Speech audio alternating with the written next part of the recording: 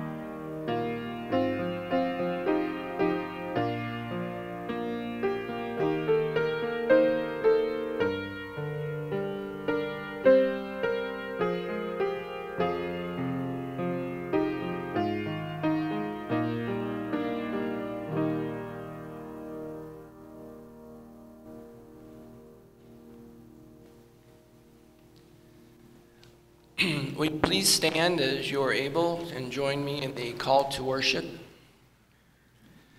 Do you not know? Have you not heard?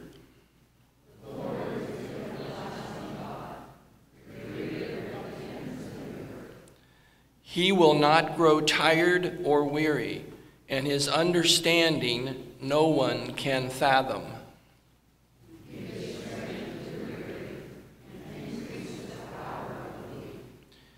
Even youths grow tired and weary, and young men stumble and fall. But those who hope in the Lord will renew their strength.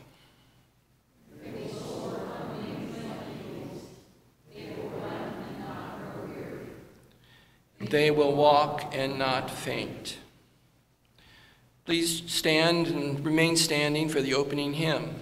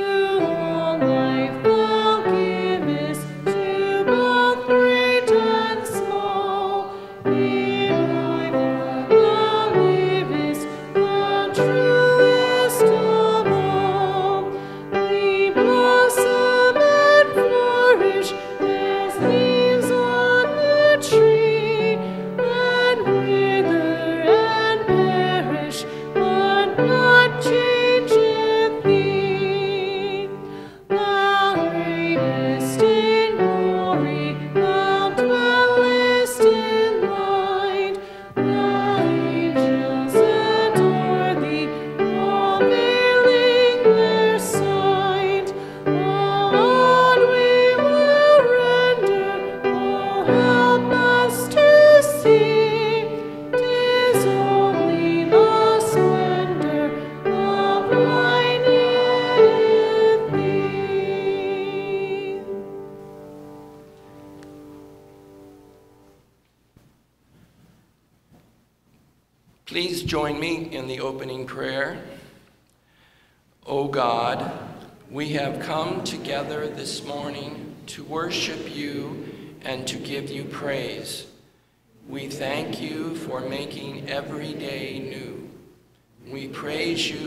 the goodness of your creation. Thank you for the joys and blessings you have sent to us and continue to send. Help us, Lord, to feel you near us throughout our lives and to serve you with our whole hearts. Amen. Please be seated.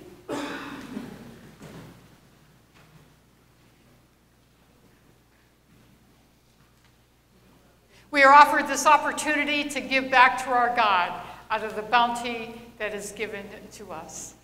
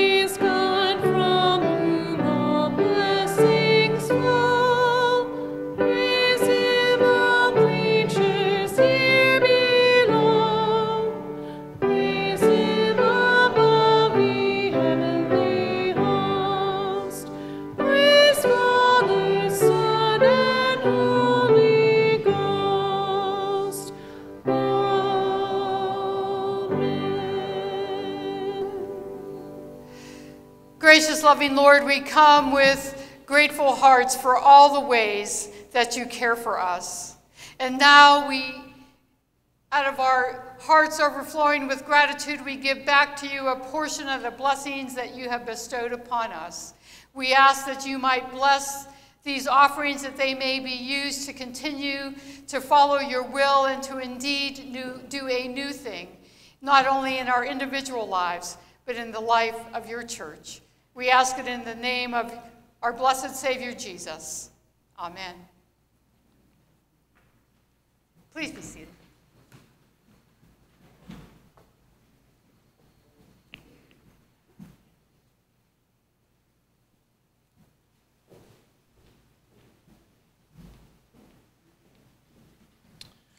Well, everyone, we've got a beautiful day going on outside. I hope you would agree. It's a little on the cool side, but compared to the heat and humidity we've had recently, hey, we can't complain, right? Nice sun shining outside. I was at the early service this morning. We were coming into the uh, prayer time. I was receiving prayer requests from the congregation, and at some point, Keith raised his hand and he said, Pastor, you're not aware of this, but while you've been asking for prayer requests, there has been a hummingbird behind you there was a floral arrangement there on the altar uh, and came up to your shoulder two times. So, you know, when we leave this place, you know, think about all of the beauty that we see around us, and we are indeed thankful. We want to thank God for the glory of His creation, but also think that this is a time of the year when hummingbirds and other birds are starting their migration. They're starting to go south. They're coming from the north. They're passing through. They're looking for something to eat, and uh, we just want to be mindful. If any of you have any nectar producing flowers, don't cut them down yet. The, the birds are still making use of them. But uh, this, we're coming into a time of prayer. We certainly do want to remember our pastor who is not feeling well today. She would be here if she could. Joan, Pastor Joan, is going to bring her message, and I'm telling you, you're in for a treat. It is a good message. It's going to give you something to think about. I know it has me. But when we lift up our prayers today, uh, I, I would encourage you to remember our shut ins. I try to follow our shut ins and keep in touch with them, see how they are doing. It seems as though this week has been the week for falling, for falls. Um, and I'm, I'm going to I'm going to bring up three persons I was in touch with. They just in recent days they've taken a fall. Uh, Ted Filmer, he he was at home and, and he fell backwards, hit his head pretty hard. Uh, he may have actually fractured some ribs, but he is home and he's recovering. Each day he says he's getting a little bit better, but he's still experiencing a good bit of pain. He does have someone coming in to do light housework. His family is aware of his situation, so we're trying to keep an eye on him. Ted Filmer. Kay Tarr. You may, you know, some of you, good many of you remember Kay. She was the organist, the church organist at one time. He lives at home. She was taking the dog out one morning, and uh, when she turned to come back to the house, she, she stumbled and fell between the fence and her son's car. He was away at work, but there she was between the fence and the car. Nobody would have seen her driving by, but there, there was a neighbor who came and asked if he could help get her up, although he had a bad back. So he found another officer, police officer, retired, who lives in the neighborhood. They came, helped her get up and back on her feet, back into the house. These are not people who would have had any reason to come to her house. Well, when she was sharing this with, with Nancy Swager, and Nancy said, You know what happened? You know, God sent a couple of angels to help pick you up that day. And, uh, you know, I'm, I, I, really tend to believe that. Uh, uh, another person, Carol McLean, she's at uh, Victoria House up in Austintown. She actually had fallen just a couple of hours before I arrived one day to, to visit her this week.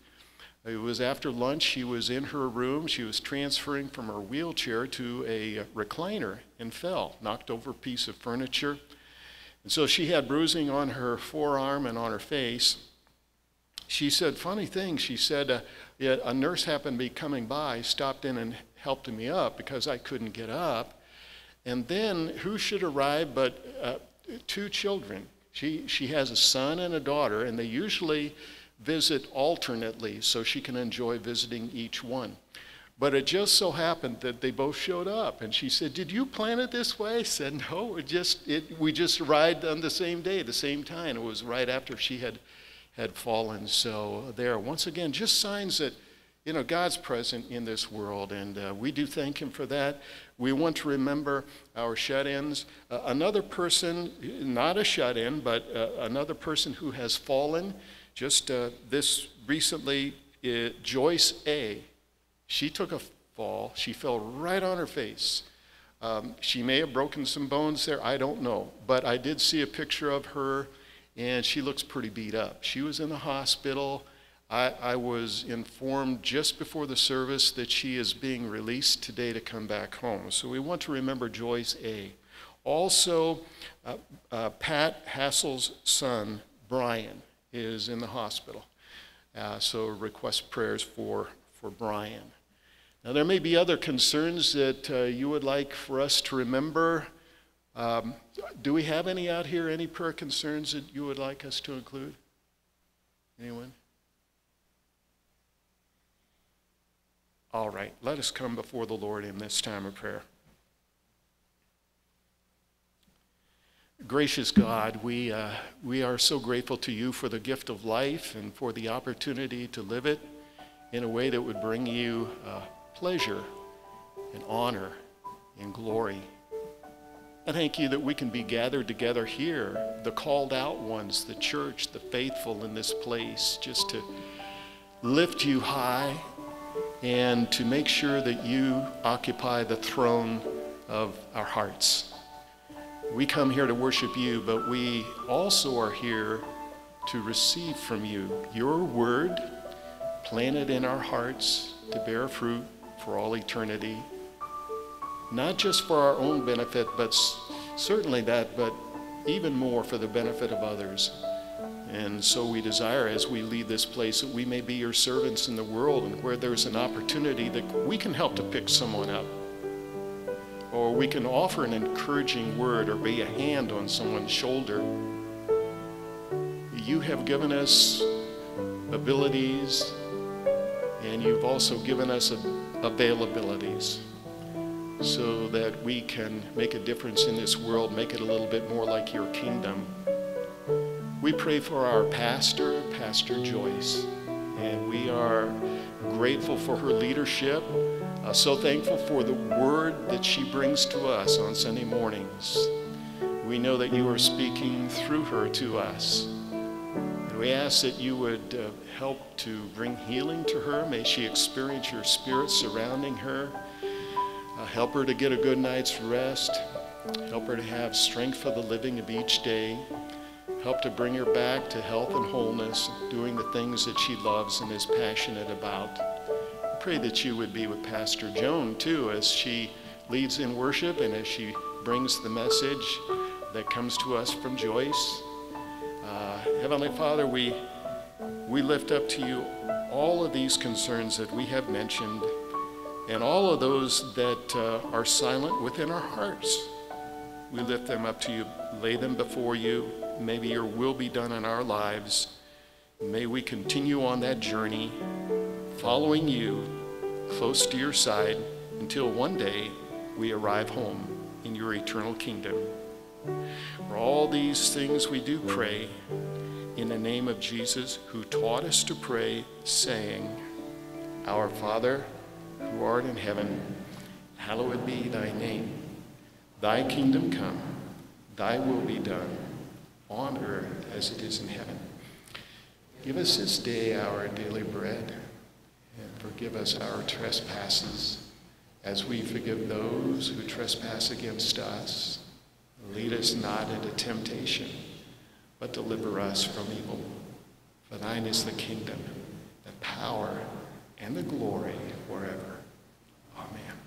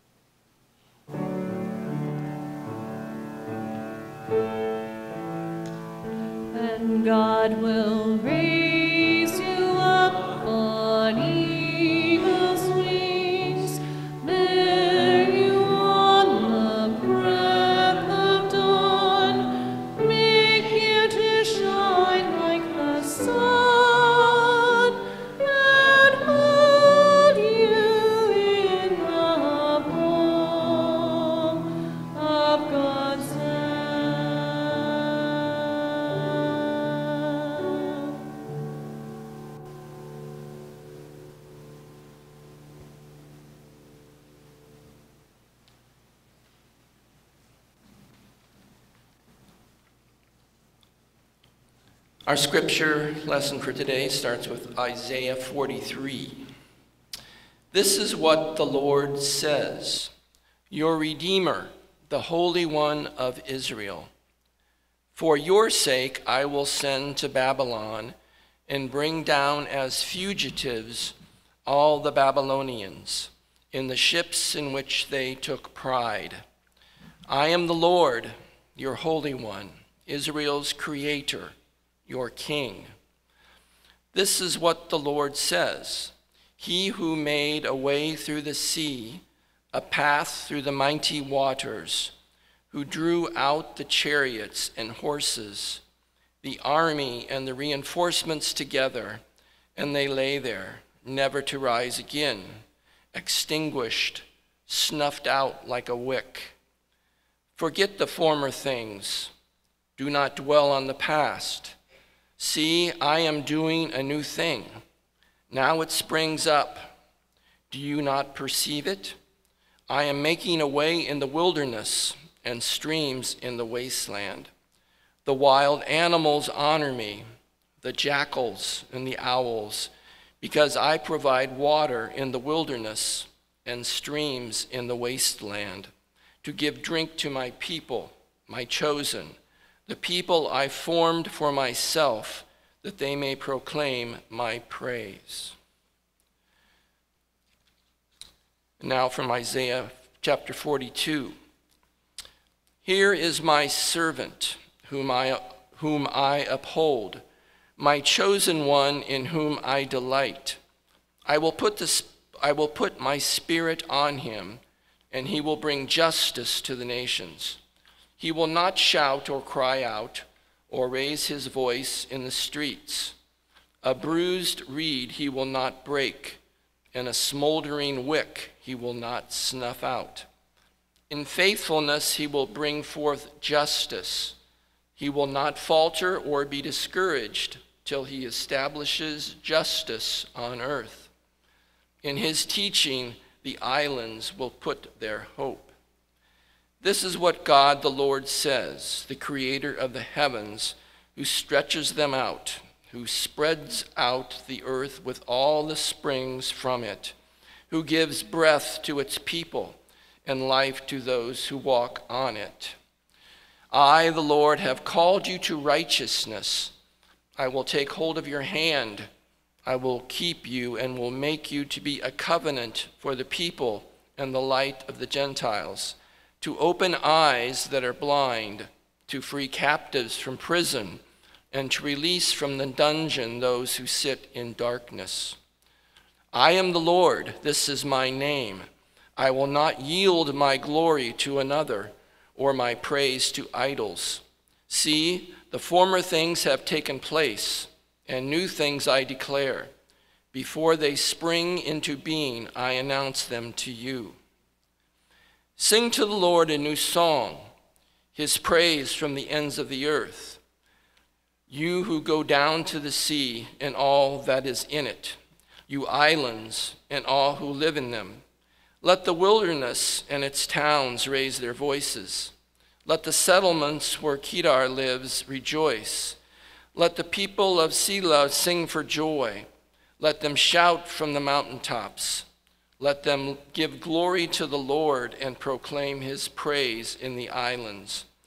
The Lord will march out like a champion. Like a warrior, he will stir up his zeal. With a shout, he will raise the battle cry and will triumph over his enemies. Now, if you'll please stand as you're able for the reading of our gospel from John. In the beginning was the Word, and the Word was with God, and the Word was God. He was with God in the beginning. Through him all things were made. Without him, nothing was made that has been made. In him was life, and that life was the light of all mankind. The light shines in the darkness, and the darkness has not overcome it. The true light that gives light to everyone was coming into the world. He was in the world, and though the world was made through him, the world did not recognize him. He came to that which was his own, but his own did not receive him. Yet to all who did receive him, to those who believed in his name, he gave the right to become children of God, children born not of natural descent, nor of human decision or a husband's will, but born of God. This is the word of the Lord.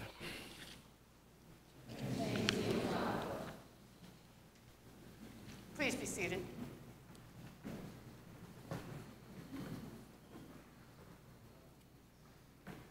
Let us pray. Gracious God, we give you thanks for Pastor Joyce and for her faithfulness and for all the ways that she is open to your leading as she prepares uh, her words for us each week. I thank you for the privilege of sharing her words with each one gathered this day, may all of us be open to the encouragement, the comfort, the joy, and the challenge that these words invoke. Amen. Last week, Pastor Joyce talked about the importance of Sabbath rest. She asks, Did any of you take time for Sabbath rest? Soaking in the presence of the Lord, taking time to rest and listen for God.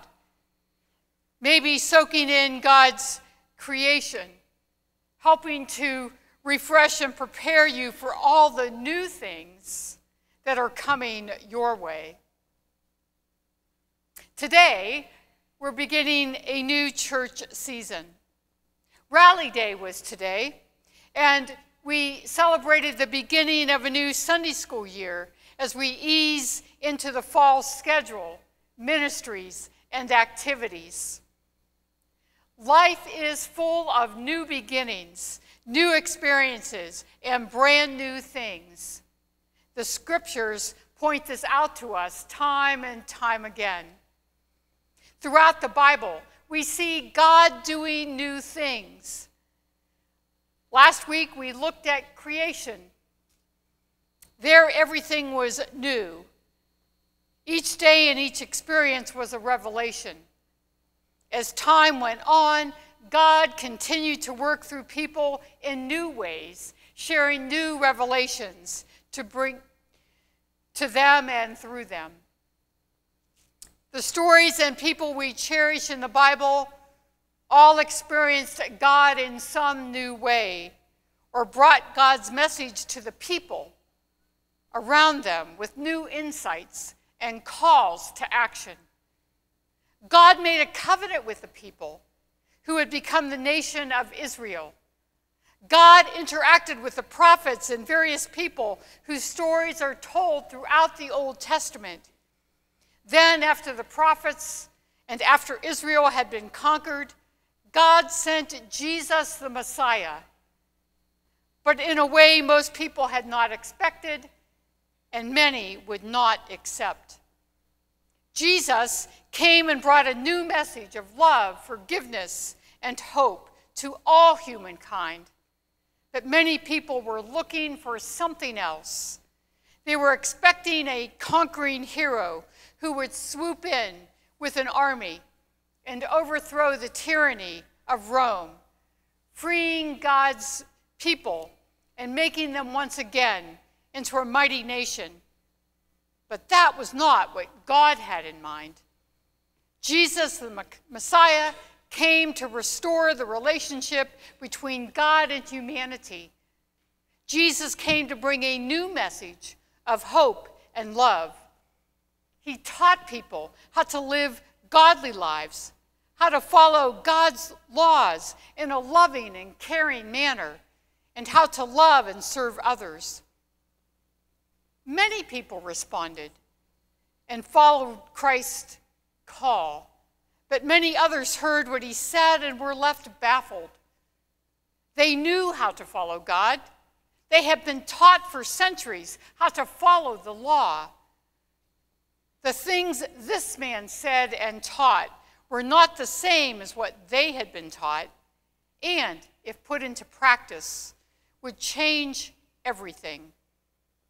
Who did he think he was? Their well ordered lives were being challenged and upset. They would not stand for it. Jesus was an unexpected version of an expected thing. When I first read that line, it just captured my attention. Jesus was an unexpected version of an expected thing. People had been promised a Messiah who would deliver them from earthly bondage. Jesus came to do just that deliver us from earthly bondage to sin and death and bring us eternal life. People had prayed for the Messiah to come soon, yet when he came, he was not what they expected. Some heard and believed, while others turned away or plotted against him. His message was new and unexpected. People reacted. Some reacted negatively, but many were transformed by the power of the salvation which Jesus brought. The Holy Spirit came at Pentecost, and the church began to grow. The disciples spread the word. Then Paul and others were called to spread the word to the Gentiles so that the whole world would be part of God's kingdom. Word spread, people believed, the church grew. And the church continues to grow. Places like Africa and the Philippines, especially, are experiencing great growth and transformation with powerful, spirit filled worship, healings, and an outpouring of God's love through the active presence of the Holy Spirit. What new things does God have in store for us here at Western Reserve? What is God calling us to be and to do? How can we best share God's love with others in our area, our nation, and the world? What can we be doing to help people who are overwhelmed and hurting?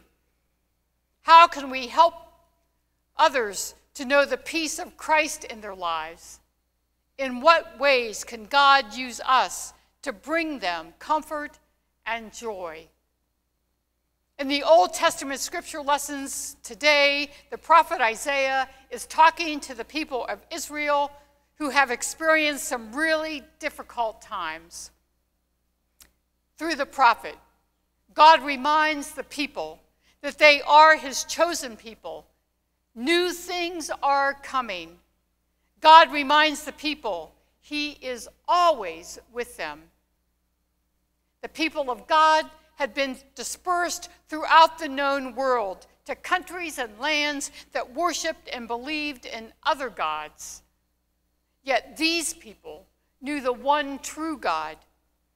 God reminds them of the exodus from Egypt, where he made a way for the people to cross through the sea, but then goes on to tell them not to dwell in the past. Do not dwell in the past, says verse 18. But dwelling in the past, it's so easy to do.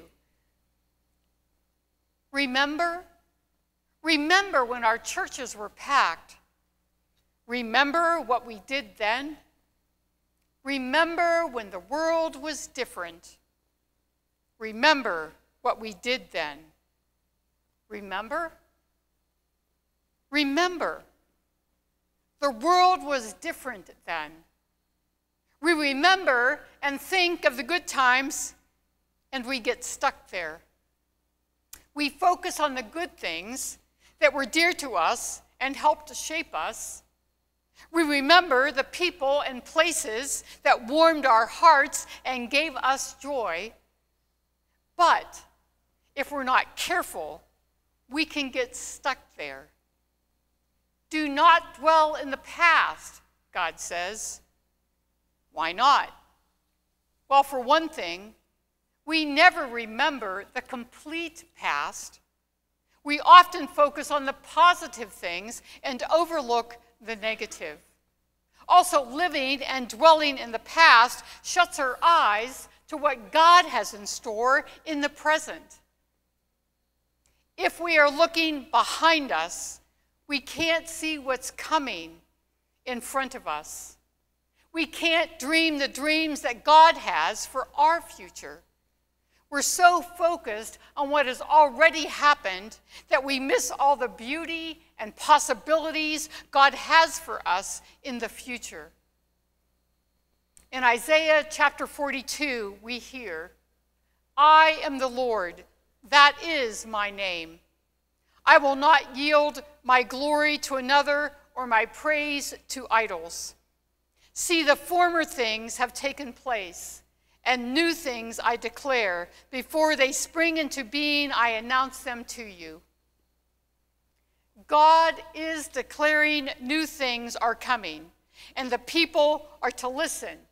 They are to hear what God is saying. The promises continue in chapter 42. Here is my servant, whom I uphold, my chosen one, in whom I delight. I will put my spirit on him, and he will bring justice to the nations. In faithfulness, he will bring forth justice. He will not falter or be discouraged till he establishes justice on earth. This is a prophecy about the Messiah and what he will do. God is restoring God's people, expanding their call and ministry to all the peoples of the world. Isaiah continues in chapter 43. This is what the Lord says He who made a way through the sea, a path through the mighty waters. Forget the former things, do not dwell on the past. See, I am doing a new thing. Now it springs up. Do you not perceive it? I am making a way in the wilderness and streams in the wasteland. I am doing a new thing. Now it springs up. Do you not perceive it? God is at work in this world. God is active and moving. God's power is present, moving forward in the world today. We are part of that movement. We are called to do new things and reach new people. Jesus called us to go to all the world. The church has tried, but we still have people right in our own neighborhoods who do not know the saving and healing love of Christ. We have people who are broken, empty, and alone. We have people who desperately need to do a new thing. The scripture calls the people to focus on God at work now. See, I am doing a new thing. Now it springs up. Do you not perceive it? I am making a way in the wilderness and streams in the wasteland. I provide water in the wilderness and streams in the wasteland to give drink to my people, my chosen, the people I formed for myself, that they may proclaim my praise. God was doing a new thing then. God is doing a new thing today. It is springing up, but do we perceive it? Do we feel and know that God is actively with us? Do we share our faith with others so they know what grounds us and what gives us strength? Do we share the reality that the God who gives us strength and mighty foundation also gives us wings to lift us up and help us soar? Or have we become blind to the reality that God is present and active with us even here, even now? Sometimes we get into a routine. We get comfortable with our schedules and our plans and forget to leave time for new experiences, new dreams. We know where we need to be and when we need to be there. We follow a plan. But what happens when plans change? What do we do then? Do we panic and do everything we can to get back on schedule? Or do we open ourselves up to the possibilities that God may be working in the disruptions? We have work to do. We have ministries and services to complete. Pastor Joyce tells us there are cherished and fulfilling ministries that will continue. There may be some previous ministries which are ready to be revived, but it's also time to move forward, push ahead, and try some new things. Some of them will be successful, some of them might flop. But it's important that we try new ministries and open ourselves to where God is calling us now and in the future. We need to focus on the needs of the people around us and around the world, finding ways to share God's love with them, loving them as Jesus loves. How can we best share God's love with others in our area, our nation, and the world? What can we be doing to help people who are overwhelmed and hurting know the peace of Christ in their lives? In what ways can God use us to bring comfort, joy, and healing to their lives? Pastor Joyce reminds us we are beginning some new things. We are starting to create our ministry teams for 2025. What ministries, she asks, would you like to see happen here? Where and how would you like to participate? Is there something new you would like us to try? Have you had an idea of something we might want to do? Does it sound easy or does it sound outrageous? She's asking because sometimes Pastor Joyce says it's the outrageous things that really bring God to life.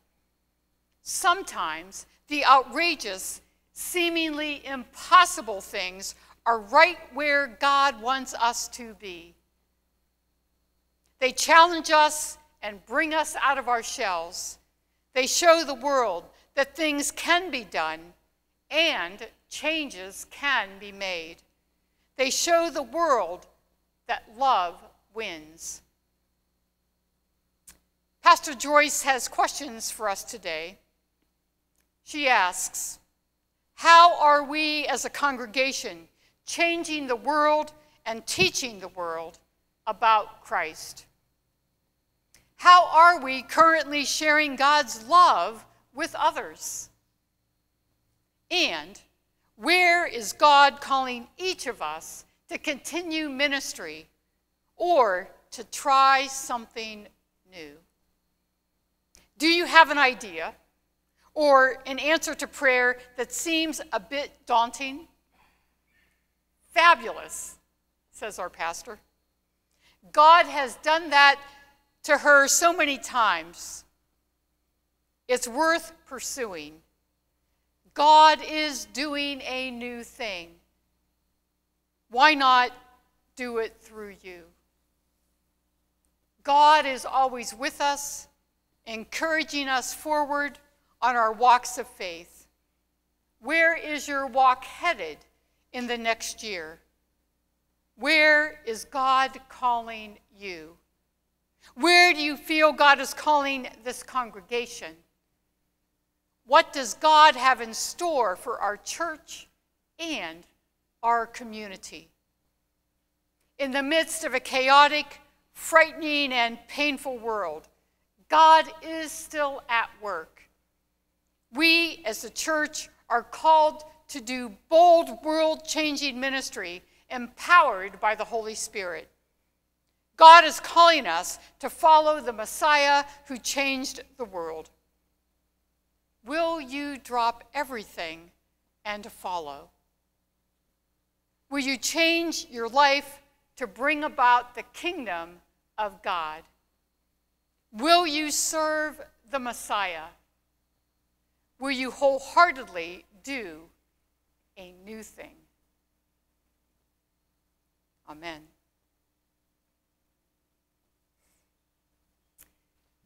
It indeed was my privilege today to share these words of Pastor Joyce with you. She has given us much to ponder as we consider the, the words of encouragement, comfort, and challenge that she has shared with us. Let us pray. Oh God, we come to you today ready for you to do a new thing in our lives and in the life of the church. We ask you to reveal to us where you would have us go as individuals and as a congregation. Show us the needs of those around us and how we can be of service. Open our hearts to hear your call and open our minds to respond. We are busy, Lord, but not too busy for you. Be with us as we dream of the future and as we live out our ministry through and for you. Amen. As you are able, I invite you to stand for our closing hymn.